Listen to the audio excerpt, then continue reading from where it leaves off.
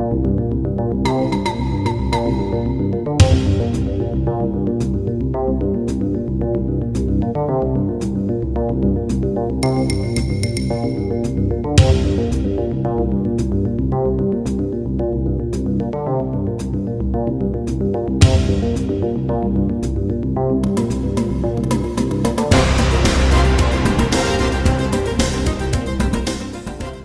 Bienvenue à ITV et bienvenue à Question Directe qui reçoit aujourd'hui Ibrahim Thiam.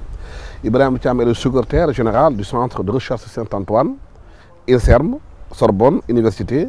Il a fondé et préside le mouvement politique d'opposition sénégalais au Notre Avenir. Il a écrit un livre avec Jean-Yves Duval, c'est un livre entretien, qui est journaliste écrivain, auteur de 10 romans, qui est directeur du site d'actualité iChrono et de la radio iChrono FM. Ce livre s'appelle Le monde vu de Materanga. Ibrahim, vous le savez, quand on parle Teranga, c'est un Sénégalais, bien sûr. Ibrahim, c'est Teranga dont vous parlez dans votre livre aujourd'hui, de la situation politique au Sénégal, que vous observez? Est-ce que la Teranga est défigurée? Bonjour Alassane, je vous remercie d'abord pour votre invitation. Et pour revenir sur la Teranga sénégalaise, effectivement, quand on regarde le climat délétère qui existe dans ce pays, on peut dire que notre Teranga est un peu défiguré, à la limite même n'existe plus parce que nous assistons à une véritable crise sociale et, politique. Depuis 2000, vous l'avez dit, avec Abdoulaye Wade qui a pris le pouvoir, on a l'impression que le Sénégal a entamé une sorte de dégringolade dans la façon de gérer la démocratie. Mais en fait, il faudrait prendre un repère. Aujourd'hui, quand on parle de Léopold Sédar Senghor, on peut dire que c'est lui qui a créé l'État. Et il nous a permis d'avoir une école des étudiants, des, universités, véritablement tout un ensemble très performant où on est fier. Et quand Abdou Diouf est venu, il a ancré le Sénégal dans la République parce que quoi que l'on puisse dire, il a redessiné les institutions. Mais dès 2012, à l'arrivée d'Abdoulaye Wade, on a senti un certain déclin parce que les nominations ne répondaient plus à des critères plutôt de compétences mais électoralistes. Et cette décadence, cette, dégringolade continue en s'accentuant d'ailleurs avec le président actuel. Aujourd'hui, on est dans une crise multiforme. Beaucoup disent que la crise sénégalaise aujourd'hui, elle est non seulement une crise politique, économique, culturelle, que tous les secteurs sont touchés. C'est pourquoi on regarde aujourd'hui le Sénégal, la plupart des gens disent qu'ils ne reconnaissent pas le pays de la Teranga, qui ne reconnaissent pas le Sénégal euh, de démocratie, le Sénégal de droits de l'homme, le Sénégal de respect des institutions. En réalité, un pays est dirigé par des dirigeants et un pays est à l'image de ses dirigeants. Lorsque on énumère toutes ces crises, on se dit, bon voilà, on est confronté à un problème réel. Mais quand on regarde la situation politique, restons un tout petit peu sur ça. Mmh. Nous avons une forme de bipolarisation entre des radicaux et des immobilistes. Parce que moi, je, je vais décrire le président actuel je le compare d'ailleurs souvent comme les présidents de la Troisième République française de l'époque, assez débonnaire mais très inefficace et qui est usé par le pouvoir et qui finalement ne respecte pas ses engagements. Toutes les promesses tenues, il ne les a pas respectées. En revanche, qui s'oppose à lui? Il y a un ensemble d'hommes politiques radicaux qui n'offrent pas de propositions mais qui n'ont qu'une force de dénonciation. Et nous sommes confrontés, hélas, à deux situations véritablement conflictuelles. Un président qui est usé par le pouvoir et qui a perdu tout son crédit. Et de l'autre côté, nous avons une réponse radicale à l'image du populisme dans le monde, tel que Bolsonaro, Trump de l'époque. Et c'est aujourd'hui, ce positionnement qui amène beaucoup de difficultés dans nos pays. Et dans tout ça, les Sénégalais n'arrivent pas à se situer. Quelle est la troisième voie? Est-ce qu'elle existe? Ben, Effectivement, il y a une troisième voie qui, qui n'est pas encore audible, mais dont je, je, n'ai cessé de militer dans ce sens. Euh, vous savez, dans ce pays, nous avons des ressources humaines extraordinaires. Nous avons effectivement des écoles qui se sont distinguées et des écoles qui ont formé des élites. Et nous avons des citoyens républicains. Je peux en citer plusieurs noms, mais je m'arrêterai sur un nom comme Abdoul Mbaye. Pourquoi Abdoul Mbaye? Parce que Abdoul Mbaye, d'ailleurs, nous avons essayé pour cette élection de 2024 d'unir l'opposition autour d'un candidat de paix, d'apaisement. Et Abdoul Mbaye pourrait, pour nous, est le meilleur choix. Pourquoi le choix d'Abdoul Mbaye? Parce que c'est quelqu'un qui a connu une brillante carrière de banquier. Ensuite, il a été Premier ministre de Macky Sall durant 18 mois. Et durant 18 mois, il a redressé quoi qu'on l'on puisse dire un certain nombre de secteurs. Et aujourd'hui, il est dans une position que nous devons faire tout pour le pousser à se présenter. D'ailleurs, c'est notre initiative que nous allons présenter cet après-midi en lui demandant s'il accepte de faire une mandat de transition et de rétablir nos fondamentaux républicains qui sont abîmés par le pouvoir en place. Est-ce que ces critères entrent dans le choix des Sénégalais? On a vu aussi qu'avant Abdoul Mbaye, il y, a, il y a Ibrahim Fall qui est aux Nations Unies, qui est venu ici, qui s'est présenté devant les Sénégalais. Il n'a même pas eu 0,0% parce que c'est des candidats citadins qui ne sont pas connus à l'intérieur du pays. L'électorat au Sénégal, c'est aussi le Sénégal de profondeur. Le problème, ce n'est pas qu'ils ne sont pas connus, c'est qu'on a fait le culte de la médiocrité depuis 2012. Et qu'aujourd'hui, dans tous les secteurs, je prends l'exemple même du... Les journalistes vont être fâchés, j'espère qu'ils vont m'inviter un jour ou qu'ils ne vont plus m'inviter. Dans votre secteur, ce n'est pas assaini. C'est-à-dire, si certains Sénégalais qui peuvent être des recours possibles et crédibles non plus voient au chapitre, parce qu'on met en avant que je ne dirais pas des médiocres, mais que des, des, des, des comment dirais, des violents. Et si Ibrahim Fall n'a pas pu faire un pourcentage assez, euh, je dirais, reconnaissant à, à son image, c'est parce que toute la presse se cantonne à s'intéresser qu'aux hommes qui font du buzz. Mais est-ce qu'aujourd'hui, justement, la presse sénégalaise mm -hmm. n'est pas issue de la société sénégalaise? Si la société est malade, c'est tous les corps qui sont malades. Est-ce que ce n'est pas la crise multidimensionnelle dont on parle, l'éducation qui est mise à, à par terre, qu'on est en train de subir les conséquences d'un travail qui aurait dû être fait depuis longtemps? Alassane, vous venez de toucher du doigt le problème du Sénégal. C'est que dans tous les secteurs, on est à l'image de ce qu'ont fait nos dirigeants. C'est-à-dire, il n'y a pas une vision et que de plus en plus, je regrette, on a une forme de dégradation, de décadence, si j'ose prononcer ce mot. Et aujourd'hui, on est à la recherche du buzz. Quand je vois un Premier ministre qui, au lieu, par exemple, de nous montrer, les, de nous donner des propositions pouvant permettre aux Sénégalais de sortir dans ce marasme, il va à la recherche du buzz. Parce qu'aujourd'hui, Sonko fait des émules. C'est le buzz. Il n'y a, a qu'une force de dénonciation. Nous, ce qu'on veut rétablir au nom de la troisième voie, qui est un projet de loi, qui est un, euh, projet de société alternative, c'est de restaurer les fondamentaux économiques et, et tout ce qui est tout ce qui concerne nos institutions. Et c'est d'ailleurs pourquoi j'insiste beaucoup et j'invite les Sénégalais à prendre conscience que nous visons, que nous allons dans une position très dure parce que nous avons des ressources. Il nous faut des personnes capables et compétentes pour les diriger. Il ne faut pas se laisser berner par ce qui nous apporte que de la violence. Est-ce que vous n'êtes pas un peu... Euh, ce travail doit être colossal euh, de le faire? Vous êtes concurrencé par les réseaux sociaux aujourd'hui, où n'importe qui peut dire n'importe quoi, quand il veut et comme il le veut. Euh, vous êtes aussi confronté à une sorte de mafia, une oligarchie au Sénégal, politico, maraboutico, médiatique, qui s'est accaparée de levier du pays, qui gère ses intérêts, qui élimine toute personne qui veut apporter une autre voix que celle qu'ils qu ont. Est-ce que ce n'est pas un travail colossal, ça? C'est un travail à la fois colossal, mais c'est un défi que nous pouvons relever. Pourquoi nous pouvons relever ce défi-là?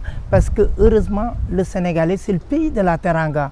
C'est le pays de la communication. C'est le pays véritablement de la solidarité.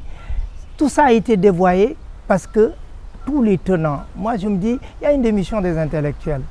Dans la classe politique, il n'y a pas tous les intellectuels pensent qu'ils ne doivent pas s'investir dans la politique. Et moi, j'ai toujours considéré, quand on ne fait pas de la politique, on la subit. Nous avons laissé toute cette masse dont vous venez de parler s'accaparer l'espace public et nous pousser à leur choix. Et ce qui est regrettable. J'invite à partir du moment que nous sommes un pays à la fois, on, utilise beaucoup émergent, ce que j'aime pas utiliser parce que c'est un terme galvaudé un tout petit pas par le président de la République, mais nous sommes un pays en émergence parce que nous avons un pays qui a beaucoup de ressources. J'invite à toutes les personnes de, de se mobiliser et de ne pas laisser uniquement des activistes, des insulteurs occuper l'espace public et ne proposer que de la dénonciation et de la délation. Est-ce que ce n'est pas justement la découverte des ressources qui rend la situation difficile? On a l'impression qu'aujourd'hui, qu'il y a une meute qui veut s'accaparer de ressources, des batailles pour le contrôle des ressources aujourd'hui. Euh, sur, le, plan- sur le fond politique, hein, derrière euh, les batailles que les gens se mènent, c'est des ressources, le pouvoir de s'accaparer de ressources qui est, qui, qui est en ligne de fond, en Mais- filigrane. Mais c'est un mauvais calcul. Les ressources ne font jamais la richesse d'un pays. Les ressources naturelles, il faut les accompagner. Aujourd'hui, quand on a des ressources, c'est de former des gens. Notre travail, c'est d'investir dans la formation des jeunes, dans l'éducation, dans la santé, dans la recherche. Des pays qui ont énormément de ressources. Si je prends l'exemple de Centrafrique, si je prends l'exemple du, du Venezuela, ce sont des pays qui n'ont pas décollé. Parce que les ressources ne font pas le développement. Ce qui fait le développement d'un pays, ce sont ses ressources humaines. Parce qu'on peut tout perdre, mais on ne perd jamais son intelligence. Oui, vous parlez tantôt de, des intellectuels qui ont, qui ont failli dans ce pays. Il y a aussi euh, certaines personnes qui accusent une partie de la société civile sénégalaise qui n'est plus à équidistance avec les partis, qui prend position en fonction de ses intérêts. Watt avait l'habitude de dire que la société civile est encoagulée. Mais effectivement, aujourd'hui, c'est quoi la société civile? Parce que moi, j'aimerais bien qu'il y ait une distance, qu'il y ait effectivement de la franchise. Mais nous, on a tendance de ranger que seuls les opposants sont des honnêtes gens dans, dans ce pays-là. Et tout le monde pense qu'il faut être de l'opposition radicale pour être quelqu'un. Ce qui fait que c'est la course vers la chalotte. C'est la course de l'échalote. Et- et nous voyons que au niveau, par exemple, de la société civile, tout le monde se range derrière un leader. Parce que derrière ça, ils se disent que ben, la cause est acquise. Si la personne arrive au pouvoir, j'aurai quand même ma part du gâteau. Il n'y a plus de société civile. Quand je les entends, par exemple, les gens s'indigner parce qu'on a extirpé un Ousmane Sonko de sa voiture pour, pour qu'il n'existe pas de désordre. Et tous continuent à accuser, à dénoncer. En revanche, le travailleur, celui qui a créé son Auchan, à qui on a brûlé, par exemple, son affaire, personne n'en parle. Les gens, je, suis même très étonné, vont s'émouvoir des brisures de, de, comment dirais-je, de, de- je sais pas comment dire, de, de la voiture, des vitrines de, je ne sais même pas, vitre ou parabrise de, de Ousmane Sonko, que quelqu'un qui a perdu des millions et des millions dans son affaire. Moi, j'aurais voulu qu'il y ait de la tempérance. J'aurais voulu qu'il y ait de l'honnêteté. Que la société civile ne se permet pas uniquement à vouloir regarder l'opposition reg- l'opposition radicale avec des jeux de chimène. Mais que l'opposition, quand l'opposition ne fait pas normalement les choses, qu'ils aient l'audace, l'honnêteté de les dénoncer, comme on dénonce effectivement les dérives du gouvernement. Oui. Est-ce que vous partagez aujourd'hui ce qu'avait dit, écrit Aminata Sofal en caricaturant la société sénégalaise, en observant de l'intérieur, en disant qu'aujourd'hui, nous sommes dans une sorte de l'empire du mensonge. Elle a écrit un livre qui décrit le Sénégal aujourd'hui comme étant un pays de toutes les dérives. Je vais utiliser un terme wolof. Sénégalais, boo ko naxul sax du la gëm. Et c'est-à-dire le mensonge est institutionnalisé. Aujourd'hui, quand on parle de mensonge, je- nos autorités politiques, leurs propos, leurs promesses ne tiennent plus. Ce qui devait donner le bon exemple se dédisent. Comment nos dirigeants qui devaient montrer le bon exemple, sont aujourd'hui de l'autre côté de la vérité? Aujourd'hui, ce pays-là est à reconstruire. Mais nous avons et les ressources et les moyens humains. Et je pense que, euh, justement, c'est pourquoi je suis un afro-optimiste. Je me dis que le Sénégal peut se décoller parce que le Sénégal regorge en son sein bon, d'imminentes personnalités, mais d'imminentes ressources. Mais de plus en plus, on voit ce pays-là, la Teranga aussi, miné par la violence. Si on regarde les scènes qui se déroulent un peu partout avec euh, les émeutes qui ont eu lieu en mars 2021, la fois dernière quand M. Ousmane Sonko a été convoqué au tribunal, ce qui s'est passé dans les rues, on voit ces jeunes qui errent, qui, sont qui ont à la quête peut-être d'un avenir euh, qu'ils ne trouvent pas dans la réponse donnée par le gouvernement, et ensuite qui cassent tout dans la, dans la rue. Est-ce qu'on n'a pas par peur de cette violence qui est nourrie, compte tenu justement, justement de la situation sous-régionale du Mali, du Burkina Faso, de la, de la Côte d'Ivoire, de la Guinée-Conakry, de la Gambie qui est en convalescence, entre autres, de la Mauritanie qui est instable. Le Sénégal est, est dans une ceinture de feu. Et la violence commence à s'installer dans ce pays et de façon la plus abjecte.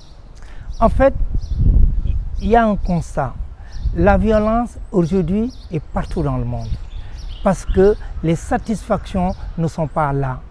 Regardez ce qui se passe récemment, s'est passé récemment en France avec les émeutes dans la capitale parisienne. Les gens continuent de tout descendre. Donc, l'être humain aujourd'hui est tourné vers la violence. On n'a plus la culture du dialogue, on n'a plus la, diplomatie même est au bout du fusil. Donc, on a un climat de, de, de violence qui est là. Mais au Sénégal aussi, il faut serrer les violences. Il y a ceux qui appellent à la violence. Aujourd'hui la vie politique sénégalaise est rythmée par un agenda judiciaire. Qu'on le veuille ou non, il y a des appels de certains irresponsables politiques à descendre dans la rue pour les défendre. Moi, je crois, et je suis républicain, je crois foncièrement et, et, très attaché aussi au, à nos institutions.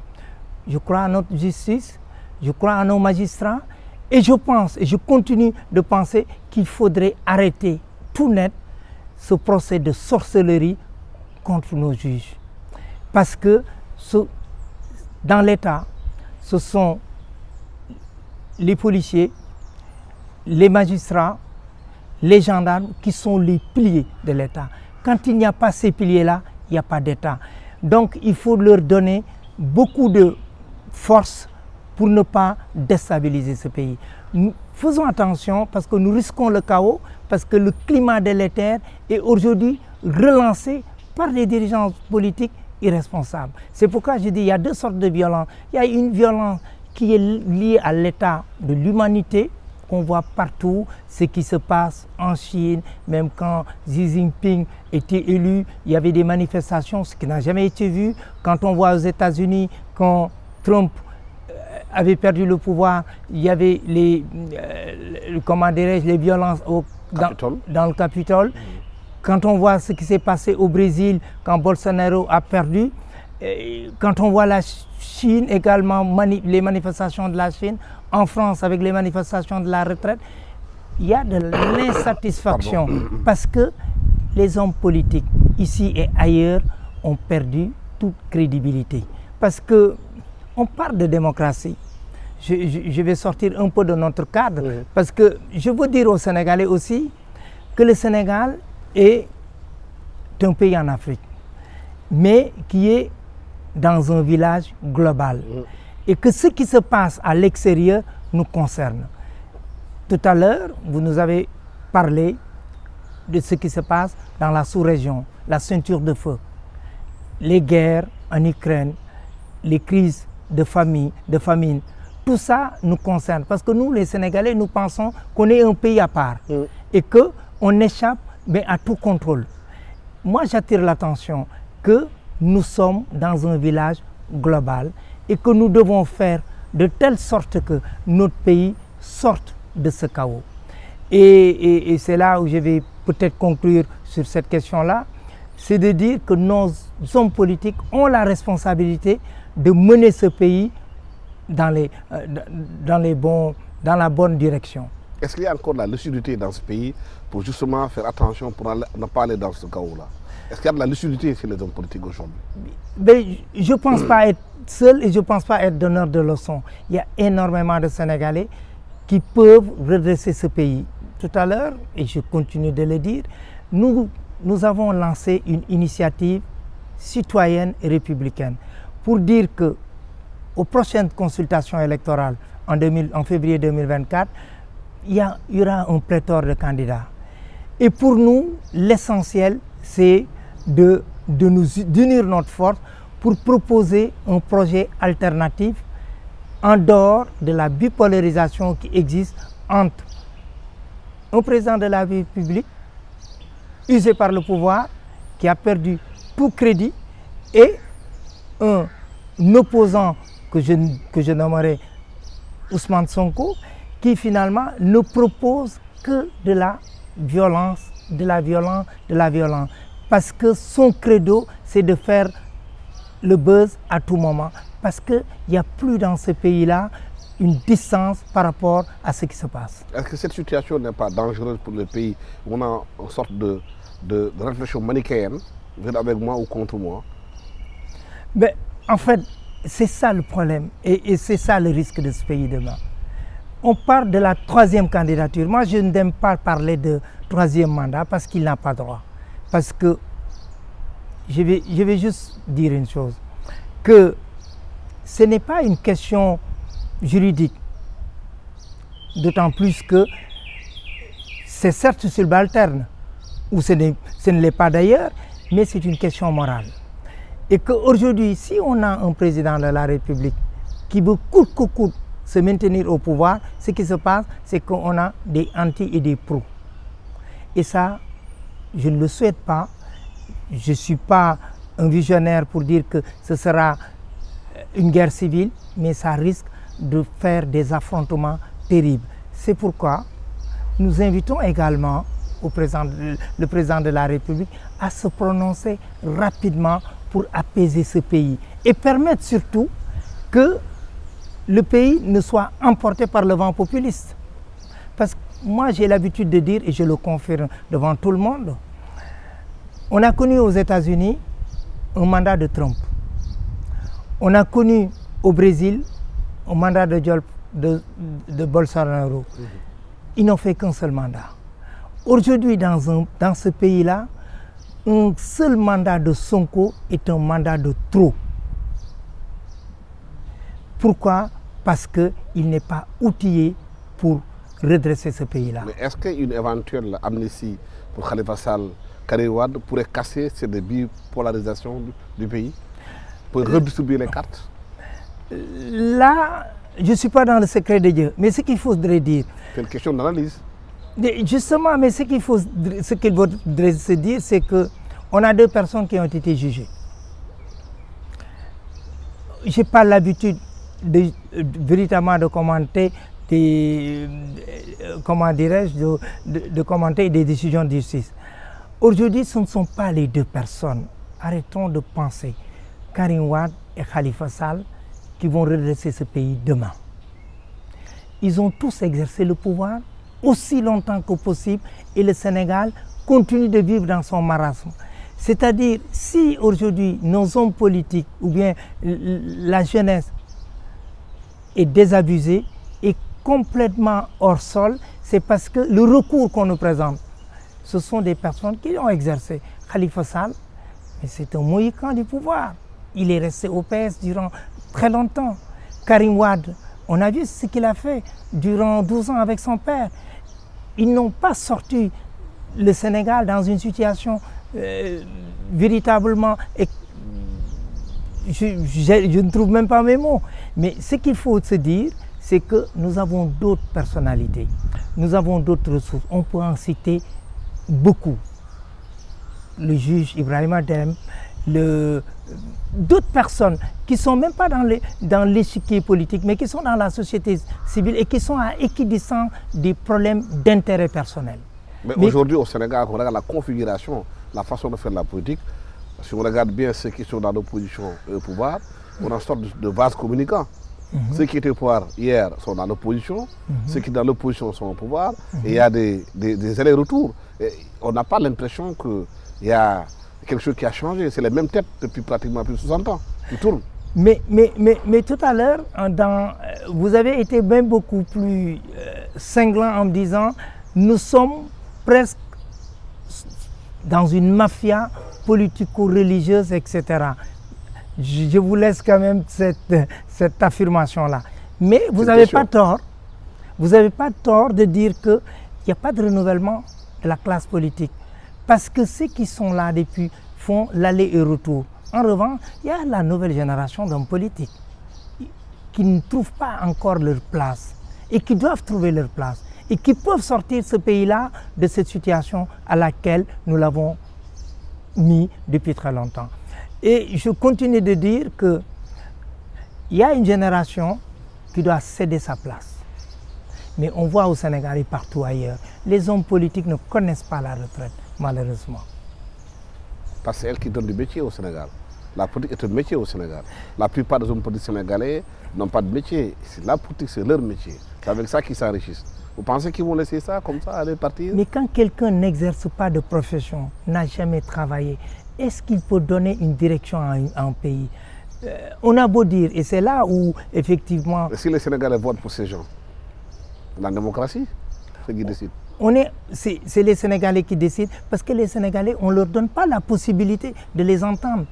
Les, les médias ne s'intéressent qu'aux faiseurs de buzz. Et quand quelqu'un, je, je donne un exemple, vous faites une émission que je suis depuis très longtemps. Quand on regarde le taux d'audien- d'audience, parce que votre émission est très pédagogique, qui regardent mais ce qui les intéresse, c'est parce qu'on nous a poussé, les hommes politiques ont compris. Il faut mener la société dans l'obscurantisme pour mieux accaparer les, besoins du pays.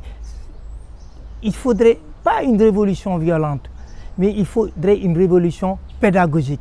Moi, je n'appelle pas à la violence, j'appelle à, à un réveil politique et citoyen. Que les gens savent que ce pays-là, on peut sortir de notre situation parce que nous en avons les moyens et nous avons les ressources. Ibrahim Thiam, merci d'avoir été nous sur ce plateau de ITV à question directe.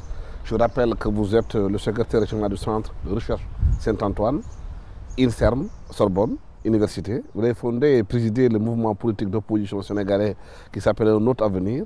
Vous avez euh, écrit ce livre, Entretien, avec euh, Jean-Yves Duval, qui est journaliste écrivain, auteur de 10 romans et directeur du site d'actualité Ish Chrono et de la radio Ish Chrono FM, que nous parlons avec vous du Sénégal, et aussi du livre que vous avez sorti qui s'appelle euh, Le monde vu de Materanga, Et c'est la seconde édition. la seconde édition. Merci donc à tous ceux qui nous ont suivis. Merci à toute l'équipe technique qui m'a accompagné pour la réalisation de cette émission. Merci, au revoir.